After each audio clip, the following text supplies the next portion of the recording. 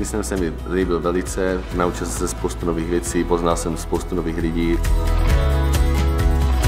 Strašně moc mi to dalo, hodně mi to pomohlo ve spoustě věcí, které jsem si myslela, že nejsem schopná zvládnout a teď vím, že jsem. Projekt se mi líbil velice, eh, byl velice poučný, eh, naučil mě novým věcem, novým zkušenostem. Přineslo mi to zlepšení komunikace se zákazníkama a ten zákaznický servis eh, jsem si vypiloval.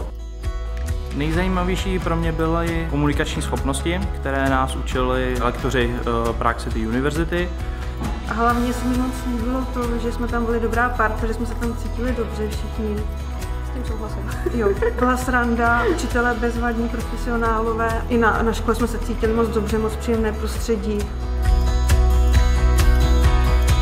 Kurzu, že jsme si zkoušeli právě eh, nezávazně pohovory, tak určitě eh, si podám přihlášku semka do jednoho obchodu tady v Náchodově. Svým způsobem mi to pomohlo utvořit následující pětiletý plán. Nevím, kam budu pokračovat, ale velice mě těší, že tato zkušenost mi přináší spoustu otevřených dveří, do kterých mohu vstoupit.